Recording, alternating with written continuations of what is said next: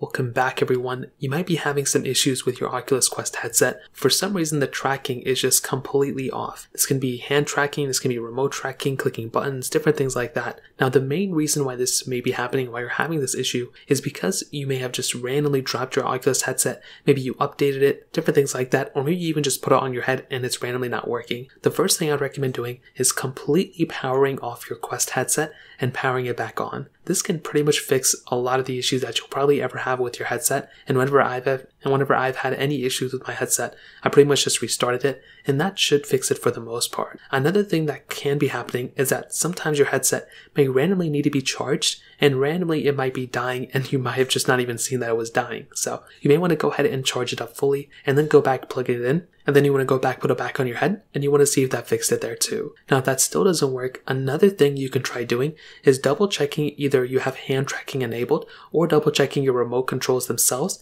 and seeing if they're charged up, making sure you know you have batteries plugged into them.